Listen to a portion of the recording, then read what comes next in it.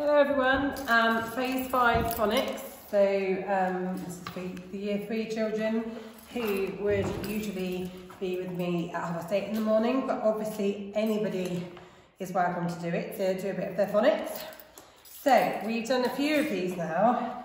Our sound, our A-E sound, okay, our A and our E together, which makes, tell your parents or care what sound that makes okay? It makes the A sound, okay? Now, we looked at putting a kicking k in between that to make an ache sound, okay? So we had ache, because we split this up, okay? So we've got our A and our E together, that's been split up, and then we've put a consonant in the middle. So today, we're looking at putting this consonant in the middle. Can you tell your parent or carer the sound that this consonant makes?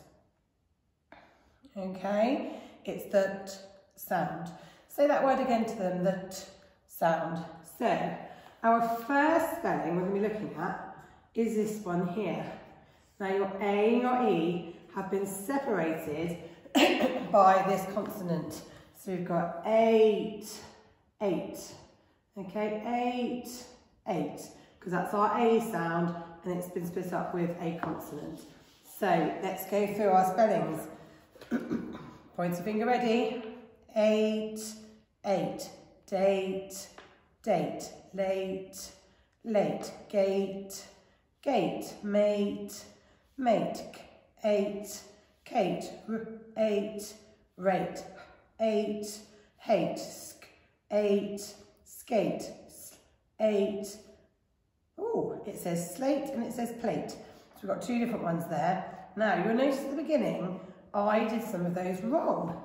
I didn't sound them out properly. What I'd like you to do now is tell your parents or carer what I did wrong. So I'm going to write them out on here. Sound it out. Then your next one.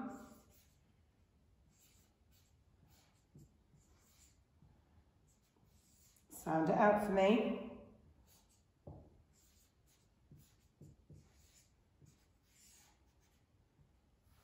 Okay, read this without them. Eight, eight, eight, date, l, eight, late. That's much better, isn't it? Let's try this one now. G, eight, gate, g, a, there's our sound gate. Okay? Right, what I want you to do now is let's read the sentence together. Eight um, an eight on the a lake. Kate can skate on the lake. Let's see if I can put this. My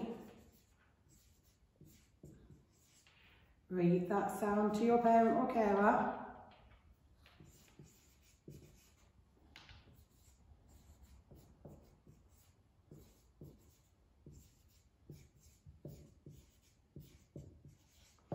See if you can spot the other two words that use that A sound when it's separated by a consonant. See if you can look them out. Read this out to your parents.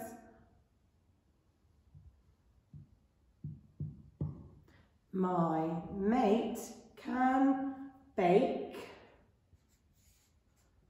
on a plate. On a plate. Okay, well done. That's our next sound done. Good job. Keep up the hard work. And I'll do your next one for you in just a second.